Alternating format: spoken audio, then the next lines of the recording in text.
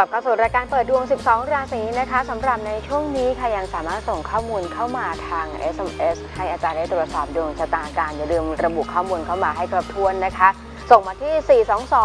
422-1606 รวมไปถึงท่านไหนอยากจะพูดคุยกันรีบโทรเข้ามาลงทะเบียนค่ะ ที่เบอร์โทรศัพท์ด้านหน้านี้นะคะ 02 496 0493 และ 02 496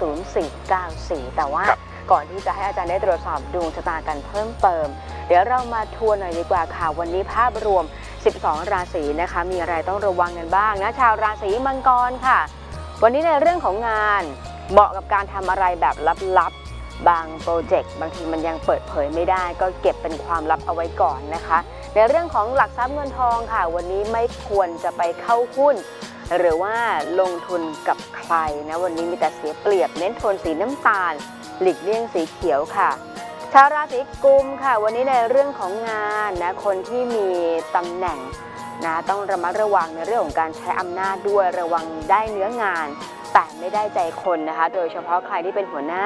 เป็นผู้บังคับบัญชานะคะในเรื่องของหัวใจค่ะ วันนี้คนที่มีทางเลือกก็อย่าเรื่องมาก อย่าเรื่องเยอะนะเน้นโทนสีแดงหลีกเลี่ยงสีฟ้าค่ะ ชาวราศีมีนนะคะ วันนี้ในเรื่องของหลักทรัพย์เงินทองค่ะมีเกณฑ์การเสียทรัพย์ ในเรื่องของการโยกย้ายที่อยู่หรือว่าการเดินทางนะคะฉะนั้นเรื่องของการจดบัญชี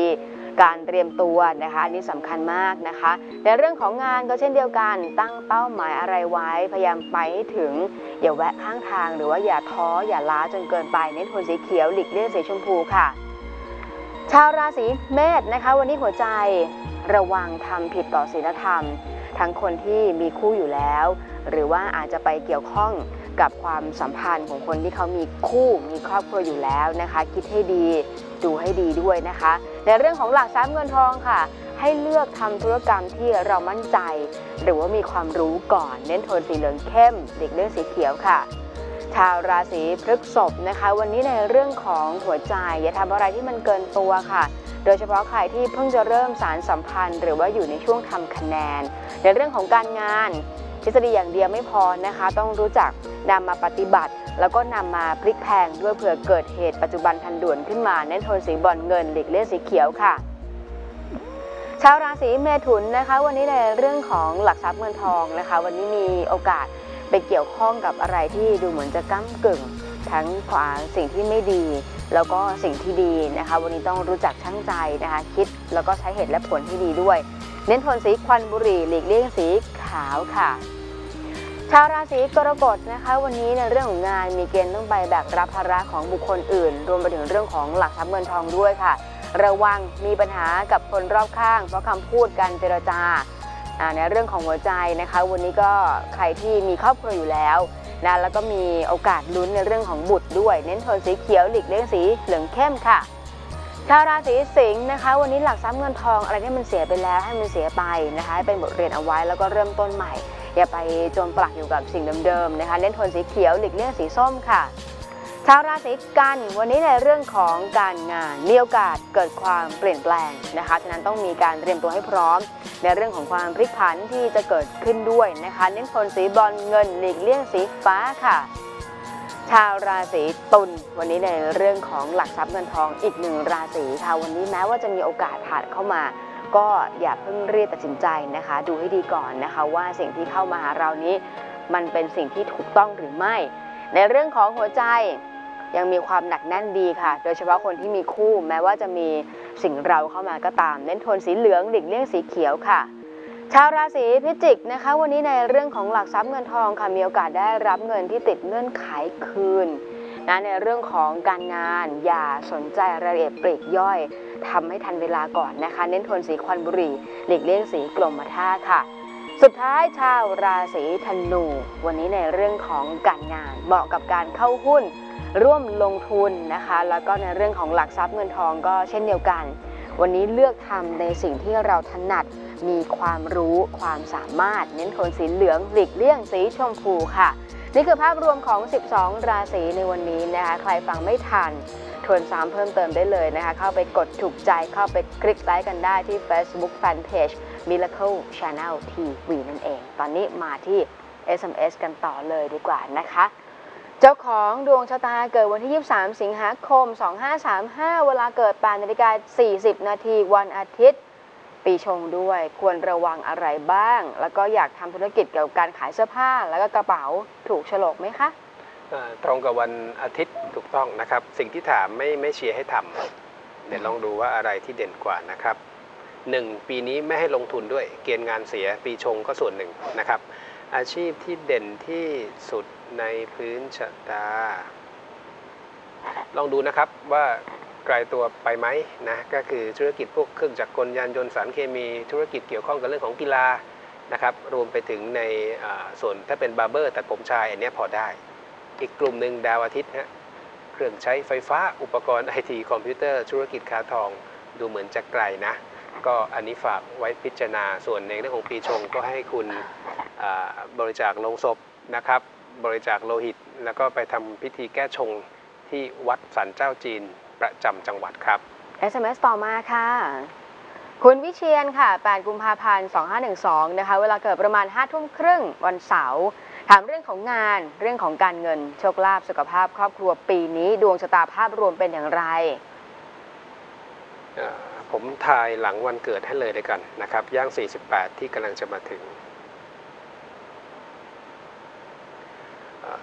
ถ้าคุณมีหลักทรัพย์ที่ดินเป็นชื่อของตัวเองและอยากจะขายมีโอกาสสมหวังนะฮะ อันนี้ประเด็นที่หนึ่งสองในส่วนของงานเหนื่อยหน่อยครับ แล้วก็มีโอกาสจะอยู่ไม่ติดที่ชีพจรลงเท้า การโยกย้ายเปลี่ยนแปลง หรือแม้กระทั่งการมีปากเสียงกับคนที่ทำงานอยู่แวดล้อม ความรักความสัมพันธ์โดยรวมปีนี้ ถ้าตั้งใจประคับประคองผ่านได้ สุขภาพด้วยพื้นชะตาช่องท้องนะครับช่องปากและในเรื่องของอาการปวดศีรษะเรื้อรังครับ SMS ต่อมาค่ะ เจ้าของดวงชะตาเกิดวันที่ 26 กันยายน 2528 นะคะเวลาเกิด 10 นาฬิกาตรงวันพฤหัสบดีการงาน ค้าขายดีไหมคะ การเงินความรักอุปสรรคเยอะเหลือเกิน จันทร์เสาร์กาลีกระแทก เกณฑ์เรื่องคู่เป็นแบบนั้น คนเราไม่ได้มีโชคทุกเรื่อง โดยเฉพาะอย่างยิ่งในช่วงย่าง 32 ที่กำลังจะมาถึงเนี่ยถ้ามีคู่อยู่แล้ว ให้ระมัดระวังประคับประคองให้ดีนะครับแต่ว่าเกณฑ์ในส่วนของงานย่าง 31 เนี่ยมันมีโอกาสได้เริ่มต้นสิ่งใหม่ๆนะถามใจตัวเองว่าชอบอะไร ผมจะไกด์ในกลุ่มที่น่าสนใจให้พิจารณาละกัน พุทธในดวงสวยนะครับ พุทธก็เป็นเซลล์ก็ได้ ขายตรงก็ได้ ถ้าลงทุนทำธุรกิจก็พวกอุปกรณ์สื่อสาร เครื่องเขียนอุปกรณ์การเรียน การเป็นคนกลางในหน้า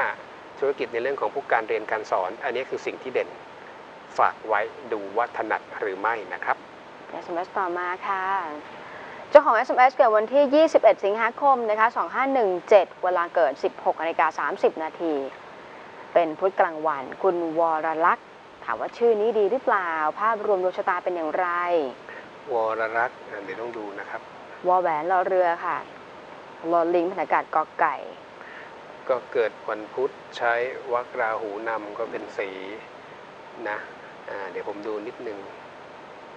เลขศาสตร์ก็พอใช้ได้นะครับ จะเสริมให้คุณมีความขวนขวาย ขยันขันแข็งมากขึ้นโอ้โหนามสกุลยาวจัง ปัญญานาแหมละสกุลปัญญาค่ะ เบนจะเกษม เบนจะกะเสมอืมแต่เมื่อรวมกับนามสกุลแล้วไม่ค่อยดี นะครับให้ฝากไปพิจารณาแล้วกันนะครับ ปัญหาสุขภาพด้วยในแง่ของสิ่งเล่นลับนะครับรวมไปถึงภาระทางการเงิน ถ้ามีก็ควรจะปรับแก้ ส่วนในเรื่องของการทำบุญเสริมชะตาปีจรนี้มันตักบาตรถวายเพลพระทำให้ต่อเนื่องครับ SMS ต่อมาค่ะ เจ้าของ SMS 1 กันยายน 2521 ค่ะ เวลาเกิดทุ่มตรงเป็นวันศุกร์นะคะการเงินดวงชะตาโดยรวมปีนี้เป็นอย่างไร ตอนนี้อยู่ในช่วงอายุย่าง 38 การเงินผมเป็นห่วงจริง ๆ เนี่ย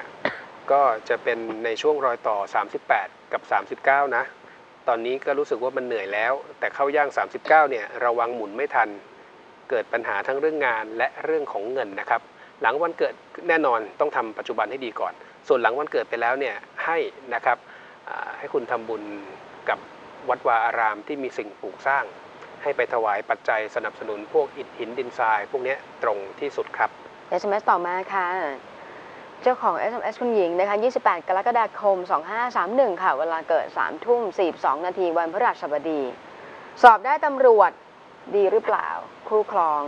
ใช่ไหม อนาคตด้วยไหมคะเอ่อสุภาพเป็นเดชนะก็เด่นในเรื่องของการสอบแข่งขันยินดีด้วยนะครับ ถามว่ารับราชการตำรวจดีหรือไม่ ใช้ได้ได้รับอิทธิพลจากคู่ดาวที่ให้คุณนะครับเป็นคู่ทัดลม แต่ว่าในพื้นชะตาก็ต้องบอกว่าคุณก็ต้องขวนขวายวิ่งเต้นหน่อย ก็บอกอาชีพรับราชการตำรวจก็ต้องบอกว่าเหนื่อยอยู่แล้ว ฉะนั้นโดยรวมถือว่าดี แต่ดวงนี้จะมีปัญหาเรื่องการเก็บออม โยกย้ายเปลี่ยนแปลงบ่อย เป็นเรื่องปกติทุกฤดูกาลมีโอกาสจะเกิดขึ้นอยู่แล้ว ดวงนี้ไม่ได้มีโชคเรื่องคู่นะครับฉะนั้นคู่ครองคนรัก ก็พิจารณาดูให้ดี กรณีถ้าคุณยังไม่ได้ลงตัวจริงจัง พยายามทำให้ทรัพย์นั้นสูญสลายกับสิ่งที่เป็นประโยชน์พวกพันธบัตรเงินฝากประจำยาวๆ รวมถึงในเรื่องของการออมในส่วนของอสังหาริมทรัพย์ ถ้าคุณอุดตรงนี้ได้ก็มีหลักฐานความมั่นคงครับ SMS ต่อมาค่ะ คุณพลอยณพัฒน์นะคะ 29 มกราคม 2526 ค่ะ เวลาเกิดตีหนึ่งตรง ไม่ได้บอกวันนะวันวันอะไรสมัครงาน ช่วงนี้จะได้หรือเปล่าส่วนความรักจะเจอคู่ไหมคะ ตอนนี้อยู่ในช่วงอายุย่าง 33 วง ถ้าฟ้าสว่างเป็นวันเสาร์ถ้าฟ้าสว่างเป็นวันเสาร์นะมีเกณฑ์งานใหม่ วงกลมก็ตกด้วย มีโอกาสสมหวังนะครับ สีก็แตะเรือนงาน ฉะนั้นขวนขวายเยอะๆ แต่ความรักปีที่ผ่านมาไม่ค่อยดีเลยนะปีที่ผ่านมาไม่ค่อยดีเลย แล้วก็ประเด็นก็คือว่าอ่าฝากระวังในเรื่องของอุบัติเหตุ นะช่วงนี้ถ้าไปทำฟันขูดหินปูนได้ขอให้ไปทำซะหรือถวายของมีคมพระสงฆ์ก็ได้ แล้วถ้าถามว่าหลังวันเกิดเป็นอย่างไรล่ะ หลังวันเกิดกรรมะก็เป็นสี กระจายโอกาส สร้างโอกาสพยายามหางานแล้วคุณจะได้งานครับ SMS ต่อมาค่ะ คุณกริตนะคะ 17 มกราคม 2526 ค่ะ เวลาเกิด 3 ทุ่ม 50 นาที วันจันทร์ทำอาชีพอะไรดีคะ แล้วก็เรื่องของโชคลาภกับสุขภาพเป็นอย่างไร อาชีพที่เด็ดดวงนี้ถ้าอยากศึกษาโหราศาสตร์ ผมเชียร์นะครับหรือว่าทำธุรกิจที่เกี่ยวข้องกับสุขภาพก็ถือว่าดีเพียงแต่ว่าอาจจะลิงก์กับพวกต่างประเทศ เช่นนำเข้ามาจัดจำหน่าย หรือทำสเกลใหญ่ขนาดส่งออกพวกนี้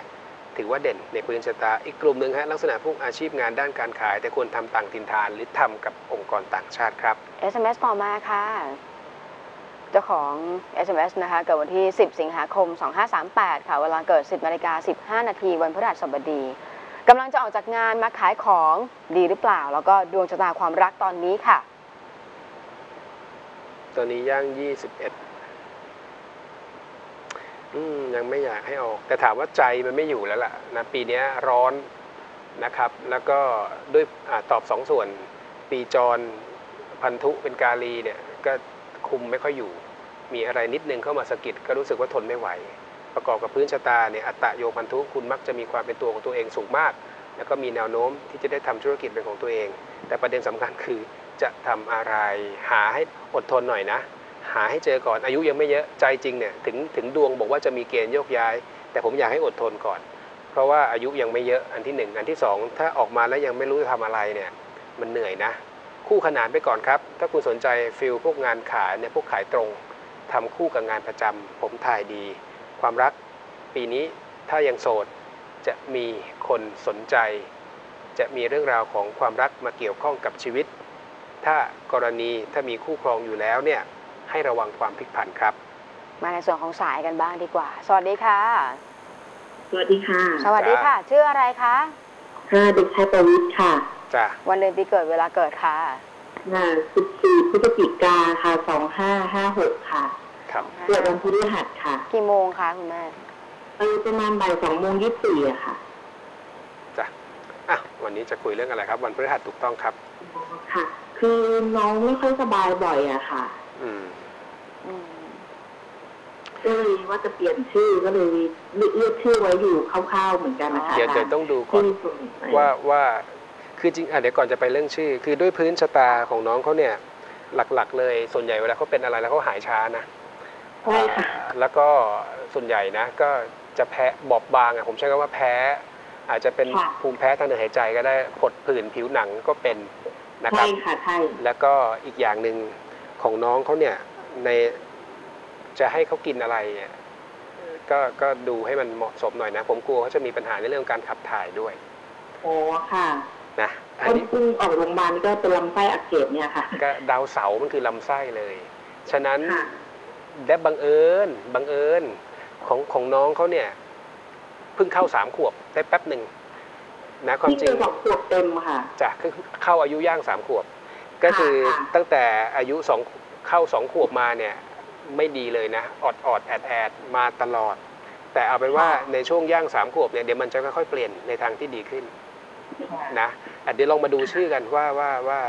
ว่าควรจะเปลี่ยนไหมสะกดครับปอปลาวอแหวนสระอิชอช้างค่ะช่อช้างอืมค่ะนามสกุลค่ะคุณชื่อแม่ไม่เสียคุณแม่ไม่ต้องเปลี่ยนหรอกอะนามสกุลอะไรครับ สุวรรณเคนชาชาวเสือสระอุวอแหวนรอเรือสองตัวนอนเนนสระเอคอควายนอนหนูค่ะ สุวรรณเคนใช่ค่ะแหมเก๋ไก่นะฮะสุวรรณเคนเอ่อ เมื่อรวมกับนามสกุลแล้วได้คู่ธาตุดินไม่ต้องเปลี่ยน แต่ว่าที่ผมทายเนี่ยมันคือปัญหาสุขภาพในพื้นชะตาเขานะฉะนั้นก็อ่าให้ระมัดระวังในสิ่งต่างๆ ที่ผมได้ทายทักไป ชื่อไม่เสีย ชื่อไม่เสียนะครับ โอเคแล้วก็อีกอันหนึ่งนะฝากไว้โดยเฉพาะปีเนี้ย ผมไม่แน่ใจเวลาเขาร้องไห้เยอะๆ ผมผมกลัวเรื่องอาการลมชักอะไรด้วยนะอ๋อเหรอคะระวังระวังอย่าตกใจถ่ายให้ระวัง ค่ะค่ะได้ค่ะจ้ะไม่ไม่ต้องเปลี่ยนไม่ต้องเปลี่ยนยืนยันว่าชื่อดีอยู่แล้วนะครับ ค่ะค่ะค่ะจ้ะแล้วสุขภาพก็คือสามขวบครึ่งก็จะดีไปเรื่อยๆใช่ไหมคะก็จะค่อยๆ แต่ของเดของคุณอย่างอย่างน้องเขาเนี่ยเป็นอะไรแล้วหายช้าแต่ปีนี้มันจะมีอีกแบบไม่รู้เป็นอะไรบางทีไปหาหมอไม่เจอนะ แต่กลับมาบ้านก็ไม่สบาย จะเป็นจะเป็นแบบเนี้ยให้เรามัดระวังหน่อย แต่มันจะค่อยๆเปลี่ยนในทางที่ดีขึ้นเมื่อเทียบกับช่วงปีที่แล้ว ปีที่แล้วนี่ต้องบอกว่าไม่ไม่ไม่แข็งแรงเอาซะเลยอะในช่วงสองขถูวกบต้องค่ะอาจารย์ดีเลยใช่ไหมค่ะอะเอาเอาเป็นว่าดูแลดีคุณจะบูชาพระพระอะไรดีคะๆก็น้องเขาเนี่ยเกิดวันพฤหัสนะครับ แล้วช่วงเนี้ยพระประจำวันเอ่อพระพฤหัสก็ยังเสวยอายุน้องเขาอยู่ให้หาองค์หลวงพ่อโสธรหรือพระแก้วมรกตก็ได้มาห้อยคออ๋อค่ะอาจารย์ค่ะ นะอ้าวเป็นกำลังใจให้จ้ะอาจารย์คะจะรบกวนขอขอถามอีกคนนึงอะค่ะ คือผมตัวเองอะปีนี้มันชงแบบร้อยเปอร์เซ็นต์นะคะอะคุณเกิดวันที่เท่าไหร่ด้วยความรวดเร็วครับหกสิงหาสองห้าหนึ่งเจ็ด6สิงหา17สิบหกค่ะ16สิงหาคม2517กี่โมงคะเอ่อประมาณตีห้าครึ่งอะค่ะตีห้าครึ่งฟ้าสว่างคือวันอะไรเอ่ยวันที่สิบหกอะค่ะหมายหมายถึงว่าวันจันทร์อังคารพุธพฤหัสศุกร์เสาร์วันอะไรคะเป็นวันศุกร์ค่ะโทษค่ะวัน มันศุกร์มั่นใจในแง่เวลาเกิดใช่ไหมว่าตีห้าครึ่งแล้วใช่ค่ะมั่นใจค่ะโอเค ถ้างั้นก็ต้องถือว่าสว่างแล้ว ก็นักกษัตริย์ของคุณขานก็ไปที่ศาลเจ้าจีนอยู่จังหวัดไหนครับ อยู่กรุงเทพค่ะ เอ้าในศาลเจ้าพ่อเสือ วัดมังกรหนึ่งหรือสองก็ได้ ที่บางบัวทองหรือว่าที่เยาวราชก็ได้ ไปเลยฮะไปเขียนก็เรียกว่าไปฝากดวงชะตา ให้เทพเจ้าคุ้มครองดวงชะตาเนี่ยท่านช่วยปกปักรักษาเขาจะมีขั้นตอนบอกให้ทำอะ กรอกแบบฟอร์มอธิษฐานจิต ปัดออกจากตัว 12 ครั้ง แล้วก็ฝากแผ่นดวงนั้น ให้กับทางวัดทำพิธีอธิษฐานจิตให้ แล้วก็ในทางในทางพุทธก็ให้คุณไปปีนี้พยายามอ่า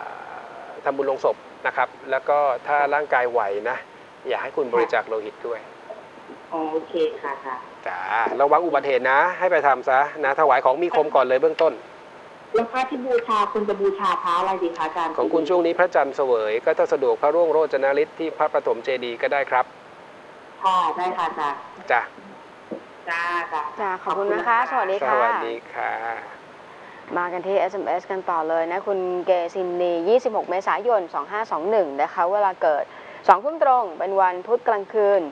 โชคลาภการเงินเป็นอย่างไรแล้วใช้กระเป๋าสตางค์สีอะไรดี สีมงคลประจำตัวด้วย สีมงคลคือสีที่ใช้กับอ่าสิ่งของที่อยู่กับเรานานๆ เช่น สีบ้าน สีรถ สีกระเป๋าสตางค์นะครับ คุณเองเป็นคนวันพุธกลางคืน สียอดนิยมด้วยช่วงนี้สีขาว สีครีมพวกนี้ใช้ได้นะ ใช้ได้ตลอดเลยนะครับและปีนี้อังคารเป็นสีมีเกณฑ์ทำธุรกรรมผ่านด้วยจ้ะอืมเนี่ยบอกคิดว่าจะออกรถใหม่ด้วยนะอ่า SMS ต่อมาครับเอาอันนี้ของคุณพงพันธ์ค่ะ 16 เมษายน 2533พุธกลางคืนอือฮึกัน ไม่ได้ไม่ได้ไม่ได้บอกเวลาเกิดมาบอกแค่เป็นพุธกลางคืนอย่างเดียว วันจันทร์ด้วยสิประเด็นอ๋อ ตรวจสอบอีกครั้งหนึ่งครับ จ้ะ SMS ต่อมาค่ะ คุณหญิงค่ะ 21 เมษายน 2520 ค่ะ เวลาเกิด 16 นาฬิกา ตรงวันพฤหัสบดี งานเงินครอบครัวสุขภาพส่วนงานเนี่ยทำขายประกันอยู่ค่ะ ขออภัยเมื่อสักครู่ในยวันถูกแล้ว แต่ว่าไม่มีเวลาใส่เวลามา คุณหญิง 21 เมษา20พฤหัส4โมงเย็น ขายประกัน พุทธราชาโชค แต่อยู่เรือนอลีก็ต้องจรนะต้องเดินทางขายประกันไม่ใช่แค่โทรขายknock door หาลูกค้าแหมันหมั่นเยี่ยมเยียนนะครับแล้วคุณจะมีรับผลเกิดขึ้น ก็คือพูดง่ายๆอาจจะมีทีมคอยซัพพอร์ตส่วนหนึ่งนะครับสุขภาพด้วยพื้นชะตาก็เหมือนกันน้องเมื่อสักครู่นี้เลย ก็ให้ระวังปัญหาพวกลำไส้ไขข้อ แล้วก็อาการพวกภูมิแพ้รวมถึงให้ระวังในเรื่องของการย้ำคิดย้ำทำนะครับการสวดมนต์นั่งสมาธิช่วยได้ครับ SMS ต่อมาค่ะ คุณแตงอ่อนค่ะ ถามในเรื่องของเลขบ้านทับ 10 กับทับ 1 ดีไหม ก็จริง ๆ แล้ว1นศูนย์มันคือกำลังของพระเสาร์อะความระทมทุกข์ภาระหลับไม่ค่อยสนิทได้ทั้งนั้น ใช้ต้องคำเปลวแท้นะครับ บริกรรมคาถาชินบัญชรและตั้งจิตอธิษฐานให้ดีครับ ขออำนาจพระพุทธคุณ พระธรรมคุณ พระสังฆคุณ ปัดเป่าอิทธิพลของดาวที่ไม่ดีปิดไปที่เลขศูนย์แหละส่วนทับหนึ่งชื่อเสียงทายอาทิตย์ถือว่าใช้ได้ครับ SMS ต่อมาค่ะ เจ้าของ SMS นะคะ 6 สิงหาคม 2524 ค่ะ เวลาเกิดประมาณ 3 ทุ่ม วันพฤหัสบดี ดวงชะตาโดยรวมเป็นอย่างไร จะเจอเนื้อคู่ไหม ลักษณะของเนื้อคู่เป็นอย่างไร เป็นม่าอยู่ด้วย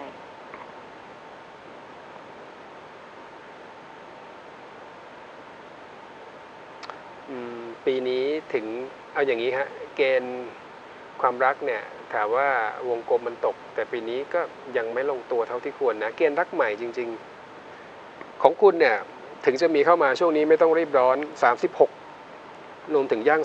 37 นะครับ มีโอกาสที่จะลงตัวอย่างจริงจังอีกครั้งหนึ่งเป็นเรื่องเป็นราว แล้วก็อาจจะเป็นลักษณะผู้หลักผู้ใหญ่แนะนำหรือแม้กระทั่งมีการคบหากับบุคคลที่เราไม่ได้คาดคิด ลักษณะคู่จริงๆหนึ่งจะมีความเป็นผู้นำสูง นะครับลักษณะผิวอาจจะไม่ได้ขาวนักดำแดง รูปร่างสันทัดนะครับแล้วก็จุดเด่นอีกข้อหนึ่งในแง่ของคู่คู่จะซัพพอร์ตช่วยเหลือคุณได้ด้วยครับ ลัคนาราศีอะไร สมุทรสาคร สมุทรผมชอบจำสลับกัน 3 จังหวัดนี้เลยนะครับ สาครสงคราม ลัคนาสถิตอยู่ในราศีอาของคุณเนี่ยกลุ่ม นะอย่างที่เตือนเมื่อสักครู่อะถึงมีเข้ามาไม่ต้องรีบร้อนเพราะตอนนี้ราหูก็เล็งดวงชะตาอยู่เป็นพินทุบาทนะครับ SMS ต่อมาค่ะ คุณวิภาวันค่ะ 18 ธันวาคม 2521 นะคะ เวลาเกิดบ่าย3โมง 15 นาทีวันจันทร์อือฮึมีรักตอนนี้เป็นอย่างไร คู่แท้เป็นอย่างไรทำไมถามอย่างนั้นล่ะ มีรักแล้วถามถึงคู่แท้ คู่จริง ๆ มีเงื่อนไข 4 ข้อสูงวัยกับ6ถึง 7 ปี มีตำหนิ ลักษณะการคบหาอยู่กันจะมีระยะห่างแล้วก็มีเชื้อสายต่างประเทศเป็นเงื่อนไขหรือข้อใดข้อหนึ่ง ก็ถือว่าสมรูป และอีกประเด็นหนึ่งในแง่ของกรอบระยะเวลา ถ้าคนที่คุณคบหาอยู่นี้นั้นได้อ่าเดี๋ยนะจ๊ะถ้าคุณที่คบหาอยู่นั้นมีการคบหากันตั้งแต่ก่อนช่วงวันเกิด มีโอกาสจะเป็นคนที่ใช่สำหรับคุณ แต่ว่าต้นทุนมันไม่ค่อยดีไงปัตตนิโยงมรณะ ลองดูเข้าเงื่อนไขสีข้อที่ว่านั้นหรือไม่ครับ SMS ต่อมาค่ะทะเบียนรถ 7049 ค่ะ ระวังคิดลบคิดร้ายนะครับ บั่นทอนตัวเองนั่นแหละ แต่ 49 เนี่ยเขาบอกว่าเฉลียวฉลาดและมีสิ่งศักดิ์สิทธิ์คุ้มครองอันนี้ชนะพระพุทธมนต์บริกรรมคาถาชินนะบัญชร แตะทั้งคู่หน้าเลยครับเอาละค่ะในช่วงหน้ายังสามารถส่งข้อมูลเข้ามาทาง SMS นะคะ ให้อาจารย์ได้ตรวจสอบดวงชะตาการรวมไปถึง เราจะมาฟังเรื่องราวของเรื่องงามยามดีวันมงคลกันด้วยพักกันสักครู่ค่ะครับ